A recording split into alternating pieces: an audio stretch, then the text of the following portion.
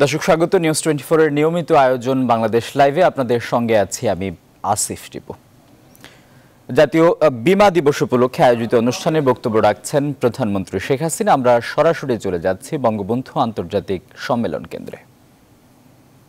করলে মানুষ যে সুবিধাগুলি পাবে, সেই সুবিধাগুলি মানুষের সামনে আরও ব্যাপক প্রচারের প্রয়োজন আছে। যার ফলে আপনারা ইতিমধ্যে আপনারা কিছুক্ষণ আগে আপনারা দেখেছেন যে আমরা কৃষকদের জন্য কৃষি বিমা, স্বাস্থ্য বিমা, রেল যাত্রীদের জন্য বিমা, এমনকি ভবনের জন্য বিমা অনবরত ভবনে আগুন লাগে বা কোনো ক্ষতি হয় অথবা ধসে পড়ে এরকম কিছু হতে পারে কাজে ভবনের জন্য বিমা, এই সমস্ত ক্ষেত্রে আমরা বিমা করার একটা ব্যবস্থা করবার উদ্যোগ ইতিমধ্যে নেওয়া হয়েছে, যেটা আমি মনে করি অত্যন্ত কার্যকর হবে।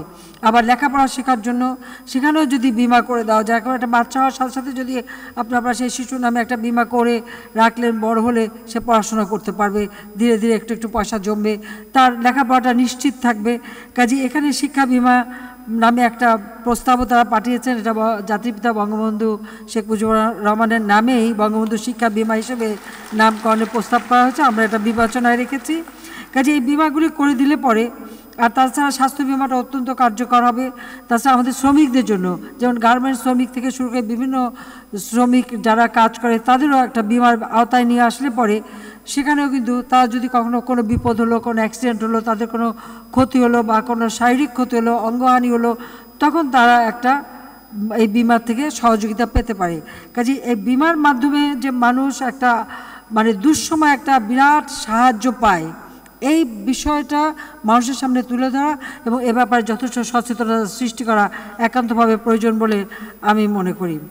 আর আমি আবারও বলব যে আগে যেটা ছিল যে আমাদের অনেক শিক্ষিত বেকার যুবক থাকে, যদিও এখন বেকারত্ব তেমন নেই কারণ আমাদের অর্থনীতি একেবারে গ্রাম পর্যায় পর্যন্ত উন্নতি হচ্ছে, মানুষের কর্মসংস্থান আমরা সৃষ্টি করেছি, আমরা ব্যাংক, বিমা থেকে শুরু করে যেমন আমাদের মিডিয়াতে সমস্ত টেলিভিশন অথবা আপনারা দেখবেন সব কিছু আমরা বেসরকারি খাত উন্মুক্ত করে দিয়েছি। বেসরকারি খাত উন্মুক্ত করাতে ব্যাপক কর্মসংস্থান সৃষ্টি হয়েছে। আর এটা আমরা গ্রাম পর্যায় পর্যন্ত নিয়ে গেছি, অর্থনৈতিক উন্নয়ন। তারপরেও যারা বেকার আছে অথবা পার্ট টাইম কাজ, এই বিমার মানে একজন আমি বলব যে, বিভিন্ন কোম্পানি যদি আপনারা কাজ দেন যারা আমাদের এজেন্ট হিসেবে কাজ করতে পারে তাহলে কিন্তু অনেক যুবকরা বা মেয়েরা বিশেষ করে কাজ করতে পারবে এবং কর্মসংস্থানের সৃষ্টি হবে, বেকারত্ব দূর হবে, সেই সুযোগটাও সৃষ্টি হবে। এটা, এই এটা করলে কি কি সুবিধা হবে? এর জন্য আমার মনে হয় ব্যাপক একটা প্রচারও দরকার। আর আমি আবার অনুরোধ করব যে এখন ডিজিটাল বাংলাদেশ স্যাটেলাইট বঙ্গবন্ধু এক আমরা উৎক্ষেপণ করেছি। সারা বাংলাদেশে ইউনিয়ন পর্যায় পর্যন্ত আমরা ব্রডব্যান্ড দিয়ে দিয়েছি, অনলাইন এখন চালু মোবাইল ফোন সকলের হাতে হাতে ফোর জি আমরা চালু করেছি। কাজী সেই ক্ষেত্রে এই বিমাটাকে আপনাদের, এই প্রযুক্তি নির্ভরই করতে হবে। অর্থাৎ বিমার যে কোনো কিছু, অর্থাৎ বিমার দাবি নিষ্পত্তি থেকে শুরু করে বিমা সেবা আরও সহজীকরণ করবার জন্য আধুনিক তথ্য প্রযুক্তি ব্যবহার করা একান্তভাবে অপরিহার্য। এটা করলে পরে দুর্নীতি দূর হবে। এর থেকে মানুষ উপকার পাবে, অল্প সময়ের মধ্যে সুযোগ পাবে। আর আপনারাও এ ব্যাপারে যারা বিমা চালান, তারা কাজ পাবেন।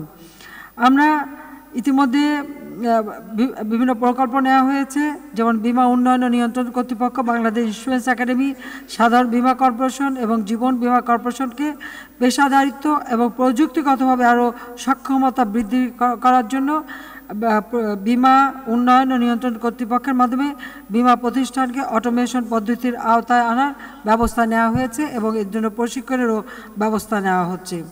দেশের সকল বিমা প্রতিষ্ঠানকে অটোমেশন পদ্ধতির আওতায় নিয়ে আসলে বিমা খাতের অনেক উন্নতি হবে, সাথে সাথে অনেক সমস্যাও সমাধান হবে। কেউ আর ফাঁকি দিতে পারবে না এবং বিমা গ্রাহক যারা, তাদেরও আস্থা, বিশ্বাস বৃদ্ধি পাবে এবং বিমা খাতের প্রিমিয়াম সহ আমি মনে করি আমাদের দেশের রাজস্ব আয়ও অনেক বৃদ্ধি পাবে। এছাড়া বিমা উন্নয়ন ও নিয়ন্ত্রণ কর্তৃপক্ষ বিমা গ্রাহকদের স্বার্থ সংরক্ষণের লক্ষ্যে state of the art technology সম্পন্ন ইউনিফাইড মেসেজিং প্ল্যাটফর্ম ইউএমপি পদ্ধতি চালু করেছে। এই পদ্ধতি গ্রাহকদের আস্থা বৃদ্ধিতে সাহায্য করবে বলে আমি বিশ্বাস করি। কারণ ধন্যবাদ জানাচ্ছি এই পদ্ধতি নেওয়ার জন্য। আমি আবারও বলব যে আপনারা এই বিমাটাকে আরও মানে মানুষের কাছে নিয়ে যান। এখন আমাদের গ্রাম পর্যায় পর্যন্ত মানুষ কিন্তু অনেক সচেতন। কাজে সেদিকে আমরা মনে করি যে, মানুষের মাঝে আরও আস্থা, বিশ্বাস অর্জন করতে মানে সক্ষম হবে। আমি আপনাদেরকে এটুকু বলতে চাই যে, জাতির পিতা আমাদের দেশ স্বাধীন করে দিয়ে গেছেন। স্বাধীন বাংলাদেশ, উন্নত সমৃদ্ধ বাংলাদেশ হবে, সেটাই আমাদের লক্ষ্য। আর সেই লক্ষ্য নিয়ে আমরা কাজ করে যাচ্ছি। আমরা দীর্ঘমেয়াদী পরিকল্পনাও গ্রহণ করেছি। আর জাতির পিতার জন্ম শতবার্ষিকী আমরা উদযাপন করছি। কাজে আমরা দু বিশ থেকে দু হাজার একুশ মুজিব বর্ষ ঘোষণা দিয়েছি। এই মার্চ মাস আজকে পয়লা মার্চ কাজী মুজিব বর্ষে সবাইকে আমি শুভেচ্ছা জানিয়ে এটুকু বলব। আসুন, সকলে মিলে আমরা সেই প্রত্যয় ব্যক্ত করি যে জাতির পিতা যে দেশ আমাদের দিয়ে গেছেন, এই বাংলাদেশকে আমরা উন্নত, সমৃদ্ধ ক্ষুধা মুক্ত দারিদ্র্যমুক্ত, সোনার বাংলা হিসেবে গড়ে তুলব। জাতির পিতার স্বপ্ন আমরা বাস্তবায়ন করব। আমি এই এই প্রত্যাশা ব্যক্ত করে আমি বিমা দিবস দু হাজার বিশের শুভ উদ্বোধন ঘোষণা করছি।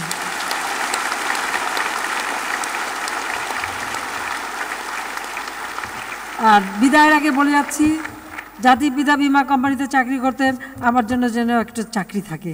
সবাইকে ধন্যবাদ। জয় বাংলা, জয় বঙ্গবন্ধু, বাংলাদেশ যুব না রিটায়ার করার পর একটা চাকরি চাই। ধন্যবাদ।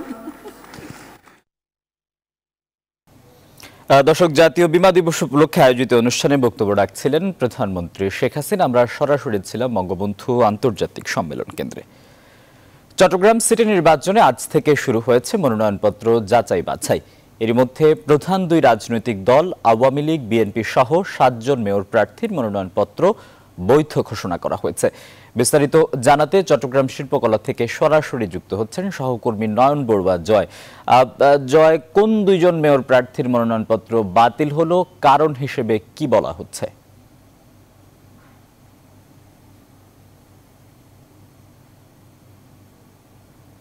সাতাত্তর বলছেন দুজন মেয়র প্রার্থী। বলতে আসলে স্বতন্ত্র দুজন প্রার্থীর তাদের কাগজপত্রে কিন্তু অনেক ত্রুটি থাকার কারণে কিন্তু তাদেরকে মনোনয়ন মনোনয়ন কিন্তু বৈধ ঘোষণা করেছে বলে আমাদেরকে জানিয়েছেন।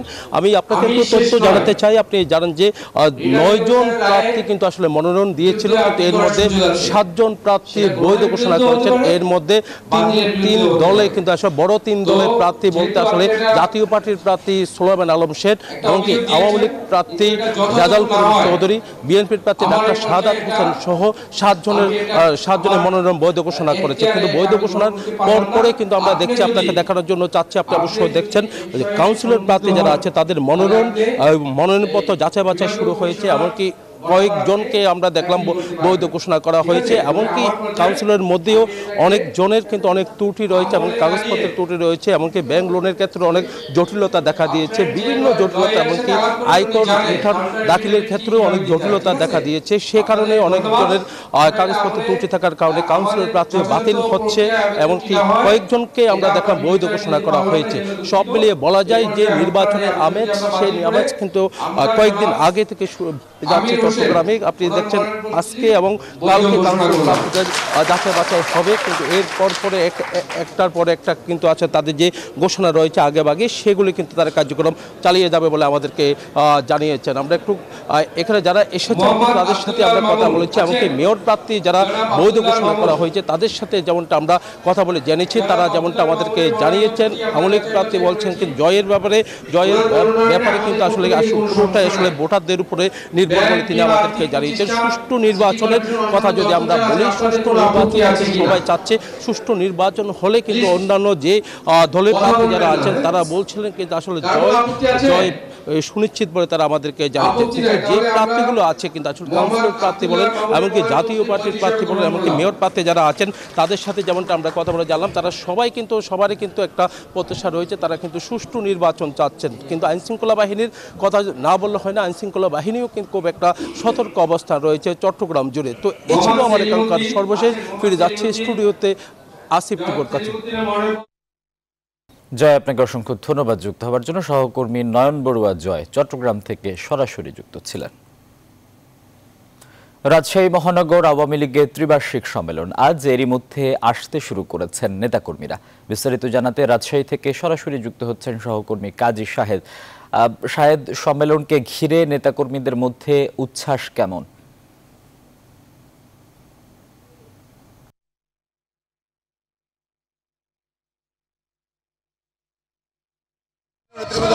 সবাই কিন্তু আজকের যে এই যে সম্মেলন স্থান সেখানে আমরা যদি একটু দেখানোর চেষ্টা করি। পুরো মাদ্রাসা মাঠ কানায় কানায় পরিপূর্ণ হয়ে গেছে। যারা স্থানীয় নেতৃবৃন্দ আছেন, তারা আজকের এই কাউন্সিলকে ঘিরে এখানে সমবেত হয়েছেন। কিছুক্ষণ আগে জাতীয় সঙ্গীতের মাধ্যমে আজকের এই যে সম্মেলন, সেটির উদ্বোধন ঘোষণা করা হয়েছে। কেন্দ্রীয় নেতৃবৃন্দ, আওয়ামী লীগের প্রেসিডিয়াম সদস্য জাহাঙ্গীর কবির নানক, সাংগঠনিক সম্পাদক এস এম কামাল হোসেন সহ বিভিন্ন নেতৃবৃন্দ কিন্তু ইতিমধ্যে মঞ্চে আসন গ্রহণ করেছেন।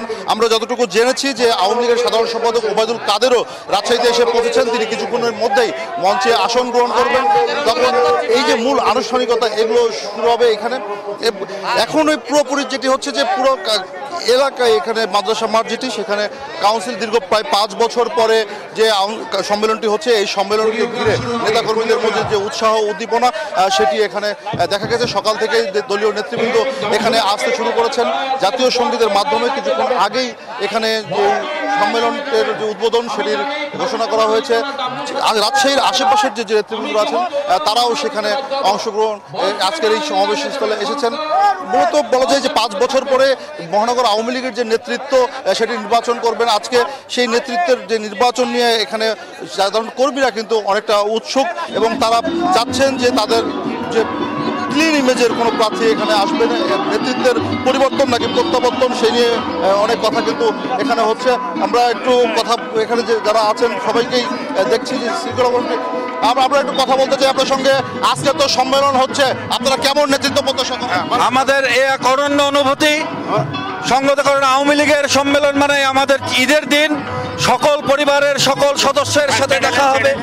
সকল পরি- স- আওয়ামী পরিবারের সকল সদস্যদের সাথে আমরা মেলবন্ধন হবে এটা আমাদের জন্য একটা আনন্দ এবং খুশি। আমরা যখনই বলছিলাম যে এখানে যে নেতৃত্বের পরিবর্তন নাকি প্রত্যাবর্তন সেটি তো হয়তো কাউন্সিলররা পরে নিতে দেবেন আপাতত এই ছিল রাজশাহী থেকে আমার কাছে সবশেষ। টিপু ফিরছি আপনার কাছে স্টুডিও শাহেদ আপনাকে ধন্যবাদ যুক্ত হওয়ার জন্য। সহকর্মী কাজী শাহেদ যুক্ত ছিলেন রাজশাহী থেকে। বাংলাদেশ লাইভে সময় হলো একটা বিরতির ফিরছে একটু পর। সঙ্গেই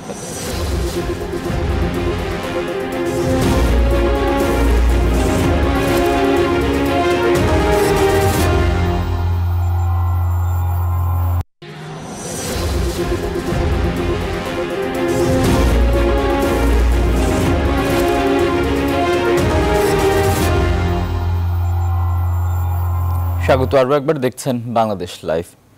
ধীরগতিতে চলছে রংপুর সিটি কর্পোরেশনের উন্নয়নমূলক কাজ। এতে দুর্ভোগ বেড়েছে নগরবাসীর। এ বিষয়ে বিস্তারিত জানাতে আমাদের সঙ্গে সরাসরি যুক্ত হবেন সহকর্মী রেজাউল করিম মানিক। মানিক, কাজে ধীরগতির কারণ হিসেবে কি বলছেন নগরবাসী?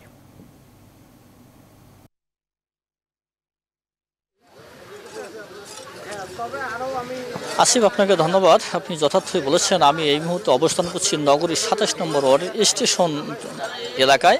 এই এলাকা আপনি দেখতে পাচ্ছেন আমার পিছনে একটি রাস্তার কাজ চলছে। এই এই রাস্তাটি কিন্তু আসলে বর্ষা মৌসুমের সময় কিন্তু জনগণের চলাচলের সম্পূর্ণ মানে অযোগ্য হয়ে পড়ে। এটি সংস্কারের কাজ চলছে কিন্তু সংস্কারের কাজ চলছে খুব ধীর গতিতে বলে আমাদেরকে জানিয়েছেন। আমরা কথা বলতে চাই নগরের একজন বাসিন্দার সাথে। আপনারা জানেন যে এই রাস্তাটি বর্ষা মৌসুমে আসলেই মানে হাঁটু পানি হয় এবং কাদার কারণে কিন্তু জনগণ চলতে পারে না, ব্যবসায়ীদের চরম দুর্ভোগ হয় নগরবাসীর দুর্ভোগ হয়। এই বিষয়ে আপনার কি মতামত? এটা আমাদের জানা মতে তিরিশ, চল্লিশ বছরের মধ্যে এই রোডের কোনো কাজ হয়নি। এটা বোধহয় তিরিশ বছর পর একটা কাজ হচ্ছে, এই কাজের মান এত নিম্নভাবে হচ্ছে যেটা দশ বছর চলবে কিনা সন্দেহ আছে। এবং এটার যে গাইড ওয়াল যেটা, যেভাবে করার উচিত, যেভাবে মশলা বা যেভাবে সিমেন্ট দেওয়া উচিত, ওইভাবে হচ্ছে না। এবং এটা আগামী দুই, তিন বছরের মধ্যে আবার নতুন করে ভাঙা মানে ভাঙে যাবে এবং এটা আপনার এলাকায় ড্রেনেজ ব্যবস্থা কেমন রয়েছে? ড্রেনেজ ব্যবস্থা এটার সাথে তো হওয়ার কথা ছিল কিন্তু এখন পর্যন্ত আমরা ড্রেনের অবস্থা দেখতেছি না। তবে যেইভাবে কাজটা হচ্ছে এটা বোধহয় আরও দুই তিন বছরের পর। ধন্যবাদ। আসলে আমরা কথা বলতে চাই এই ওয়ার্ডের যিনি কাউন্সিলর রয়েছেন আম, সাহারুনুর রশিদ তার সাথে একটু কথা বলতে চাই যে নাগরিক সীমার মান আপনি কতটুকু নিশ্চিত করতে পেরেছেন? তো এই বিষয়ে একটু আপনার কাছে জানতে চাই। প্রথমে আমি ধন্যবাদ জানাতে চাই আমাদের মাননীয় মেয়র মহোদয়কে। যিনি দীর্ঘ তিরিশ বছর পরে এই উদ্যোগ নিয়েছেন আসার মাত্রই তিনি ক্ষমতা নেওয়ার পর পরেই উদ্যোগ নিয়েছেন এই রাস্তার সংস্কারের জন্য। ওনাকে ধন্যবাদ জানাই। তারপরে এখানে ড্রেনেজ যে ব্যবস্থা ড্রেনেজ ব্যবস্থা আসলে সাতাশ নম্বর ওয়ার্ডে খুবই নিম্নমানের। তা আমরা চেষ্টায় আছি। মাননীয় মেয়র মহোদয়কে আমি প্রায় বলি এবং লিখিত ভাবেও আমরা দিয়েছি যাতে ড্রেনেজ ব্যবস্থা ব্যবস্থা যদি ভালো হয়ে যায় তাহলে আমাদের এলাকার মানটা বেড়ে যাবে। আর যেটা রাস্তার কাজ যেটা হচ্ছে এটা ধীর গতিতে হচ্ছে আমি সন্তুষ্ট না। আমি নিজেই সন্তুষ্ট না আমি এসি মহোদয়কে জানিয়েছি মাননীয় মেয়র মহোদয়কে জানিয়েছি এবং এখানে ঠিকাদারের যিনি লোক ওনাকেও আমি জানিয়েছি। ঠিকাদার আমার সাথে যোগাযোগ না রাখার মতোই আর কি। ওনারা কোনো যোগাযোগ রাখেন না যে কোথায় কি ফেলাচ্ছেন, কোথায় কি দিবেন, কখন কি হবে, তারা যোগাযোগ করতেছেন না। আমাকে পাবলিক অভিযোগ দিচ্ছে? নাগরিক সেবার মান অর্থাৎ আপনি দুই বছর হলো নির্বাচিত হয়েছেন এই সাতাশ নম্বর ওয়ার্ডের জনগণের কতটুকু পূরণ করতে পেরেছেন? না নাগরিক সুবিধা বলতে গেলে সাতাশ নম্বর ওয়ার্ডে আপনি দেখবেন যে দরদি আপনার সাপলা থেকে যে স্টেশন রোডটা আপনি এটা দেখেই আপনি বুঝতে পারবেন যে নাগরিক মান কতটুকু উন্নয়ন হয়েছে এদিকে। তাছাড়া আমাদের ড্রেনেজ কিছু ব্যবস্থা বিঘ্নিত আছে আমরা চেষ্টায় আছি ইনশাল্লাহ এটা আমরা বর্ষা মৌসুমের আগেই এটা সম্পূর্ণ করতে পারব। বিষয় জানতে চাই যে করের বোঝা কিন্তু নগরবাসীর উপর অনেক বেশি। কিন্তু সেই অনুযায়ী আপনার ড্রেনেজ ব্যবস্থা, পয় নিষ্কাশন, মশা নিধন থেকে শুরু করে অনেক কিছুই কিন্তু আপনারা ঠিকমতো করছেন না। তো এই বিষয়ে আপনার মত না এই বিষয়ে আসলে এটা একটা, আমরা নতুন পরিষদ এবং নতুন নতুন পরিষদ অনুযায়ী কাজ আমরা, আমাদের হাতে অনেক বেশি। আপনি দেখবেন সারা রংপুর শহরেই কাজ হচ্ছে।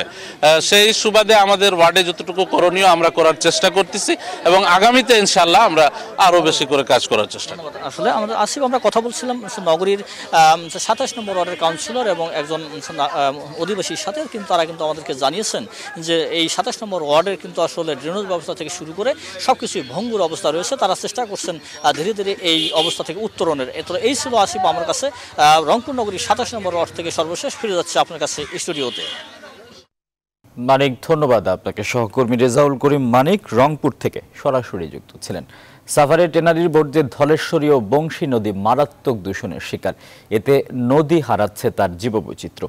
টেনারির আশপাশে কোনো জমিতে ফসলও হচ্ছে না। বিস্তারিত জানাতে সাভারের ধলেশ্বরী থেকে যুক্ত হবেন সহকর্মী নাজমুল হুদা। নাজমুল, টেনারির বর্জ্যে ভয়ঙ্কর দূষণের শিকার ধলেশ্বরী, কি প্রভাব দেখছেন?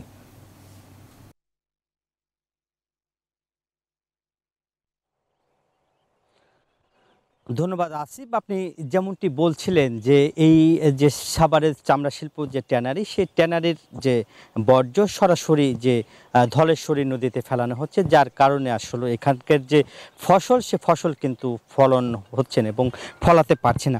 আপনাদের একটু দেখাচ্ছি যে এই যে ট্যানারির যে যেখানে ডাম্পিং জোন করা হয়েছে, সেখানে কিন্তু যে আবর্জনা যে ফেলানো হচ্ছে এবং কাঁচা জিল্লিটা সরাসরি ফেলছেন।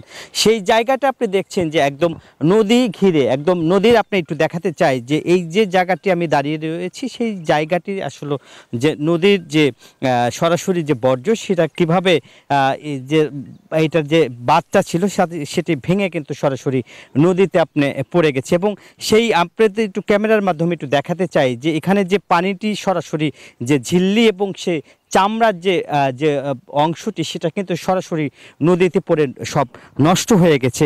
এখানে আসলে আশেপাশে যে ফসল, সেগুলো কিন্তু ফলানোর মতো কোনো সুযোগ নাই এবং না থাকার কারণে এইখানে আমি একটু কথা বলব। এখানে যারা বসবাস করেন কি অবস্থা দেখছেন? আসলে এই নদীর এই অবস্থা কেন? এই নদীটা আসলে তো একসময় অনেক ভালো ছিল।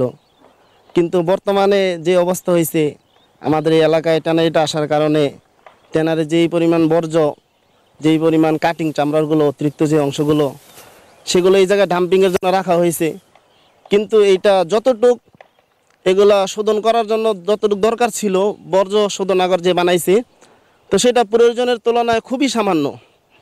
তো তারা এই ডাম্পিংয়ের জন্য এই জায়গাটা ফেলতেছে। কিন্তু অল্প কিছু শোধনা, শোধন করার কারণে বাকি অতিরিক্ত সবগুলো অংশ এখানে রাখার পরে অনেক সময় এই জায়গাটা ভেঙে সব পানিগুলো, বর্জ্যগুলো নদীতে চলে যাইতেছে। যে নদীটা আমরা ছোটোকাল থেকে দেখে আসতেছি যে অনেক সুন্দর পানি ছিল। পাশে এই দক্ষিণ সাইডে আমাদের মাদ্রাসা আছে, জমজম সিটি নুরিয়া মাদ্রাসা। তো মাদ্রাসা ছাত্ররা নিয়মিত প্রতিদিন দুপুরবেলা এই নদীর পানিতে খুব স্বচ্ছ পানিতে গোসল করতো। কিন্তু বর্তমানে এই ট্যানারির বর্জ্য, এই পচা পানি যাওয়ার কারণে পানির অবস্থা এত খারাপ হয়েছে ওখানে গোসল করা তো দূরের কথা কেউ ওই পাশে যাইতে পারে না গন্ধের কারণে। ওই নদীর যে পানিতে এই পরিমাণ এই গ্যাস হয়ে গেছে, গ্যাসের কারণে ওখান থেকে শুধু শুধু গ্যাসের ফুটকি উঠতেছে, ফুটা উঠতেছে।